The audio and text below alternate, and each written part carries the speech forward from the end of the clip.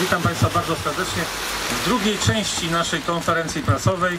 Proszę Państwa, znajdujemy się w miejscowości Lubochnia na terenie gminy Lubochnia. Proszę Państwa, dwie ważne inwestycje. Jedna powiatowa, druga mm, gminna. Proszę Państwa, zostały zrealizowane w tym roku który się już zakończył w roku 2021, ale to, co jest ważne, to, co jest istotne, te inwestycje nie doszłyby do skutku, gdyby nie środki rządowe z Funduszu Inwestycji Lokalnych, jak i również z Funduszu Dróg Samorządowych.